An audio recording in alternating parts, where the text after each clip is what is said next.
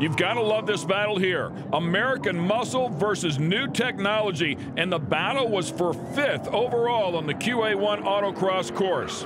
John Laughlin in the 2019 Tesla Model 3 Performance actually won a couple of overall events at Road America earlier in the year. That car is no joke. And Scott Spiewak, also very capable in that 2003 Z06 producing just under 500 wheel horsepower with that LS6 engine. And of course, the car is capable without a lot of mods. The C5 Corvette is a great platform for sure. But how about that all wheel drive Tesla? Dual motors, front and rear, producing 490 foot pounds of torque. The difference, all said and done, just four hundredths of a second to the Corvette. What a great battle.